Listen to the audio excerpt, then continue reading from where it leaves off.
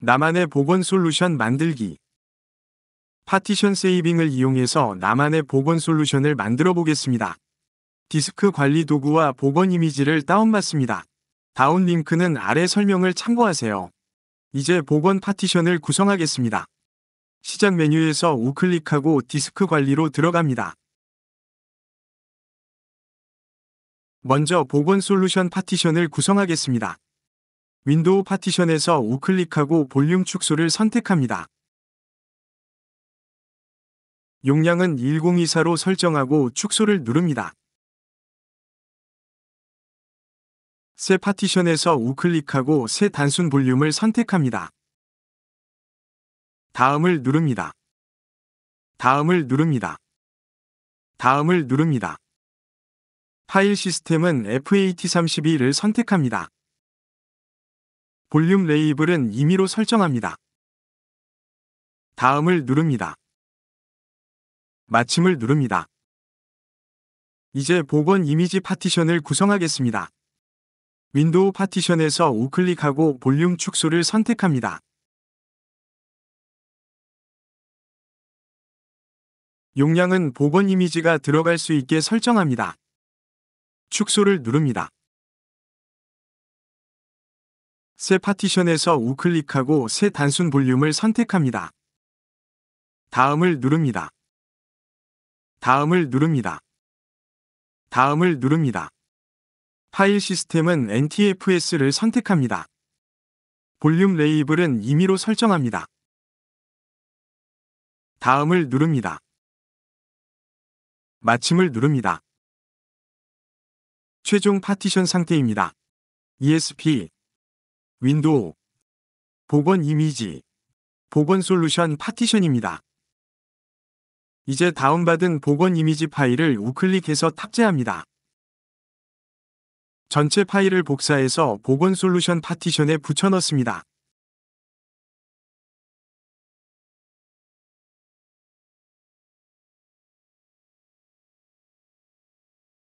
탑재했던 복원 이미지를 꺼냅니다.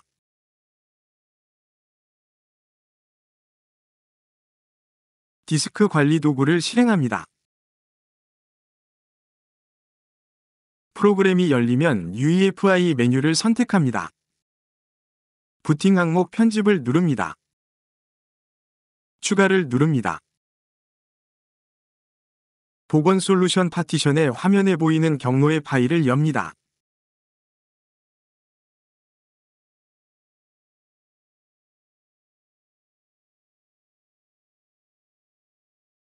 확인을 누릅니다.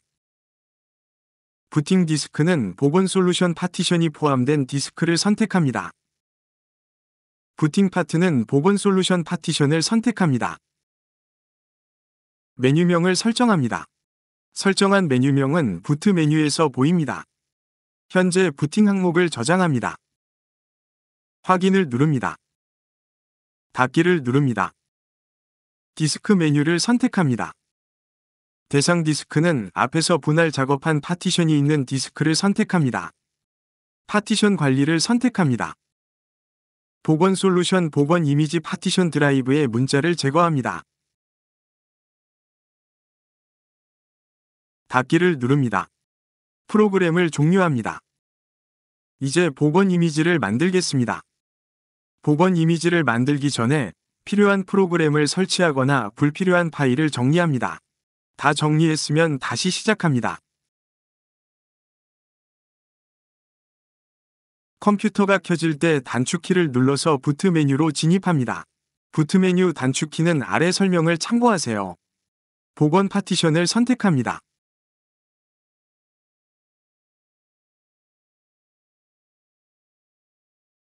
부팅이 되고 복원 이미지를 만들려면 1을 입력하고 엔터를 누릅니다.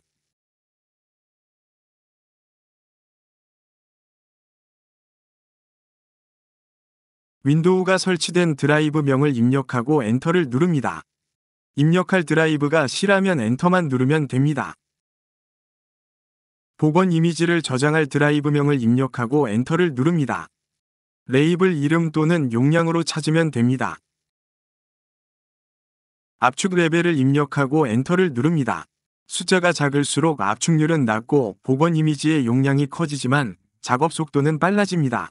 반면 숫자가 클수록 압축률이 높아져 복원 이미지의 용량은 작아지나 작업 속도는 느려집니다. 복원 이미지를 생성하고 있습니다. 복원 이미지는 ESP 영역과 윈도우 파티션 두 가지로 만들어집니다. 전체 작업은 생략하겠습니다. 여기는 백업 마지막 단계입니다. 백업이 끝나면 자동 부팅됩니다.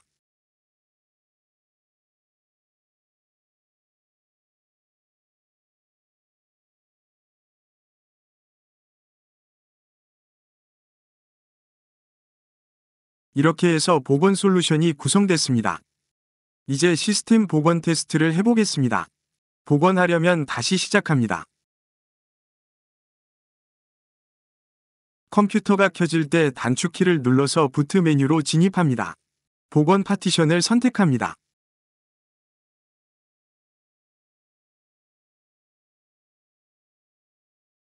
부팅이 되고 복원하려면 2번을 입력하고 엔터를 누릅니다.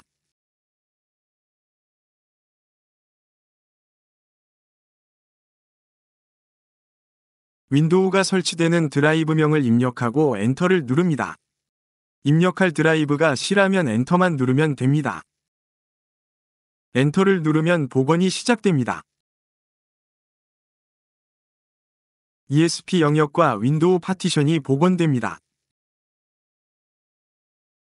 전체 작업은 생략하겠습니다.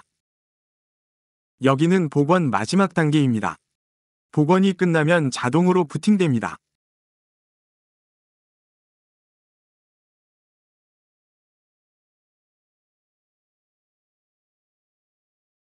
시스템 복원이 잘 됐습니다. 여기까지 파티션 세이빙을 이용해서 나만의 시스템 복원 솔루션을 만드는 방법이었습니다.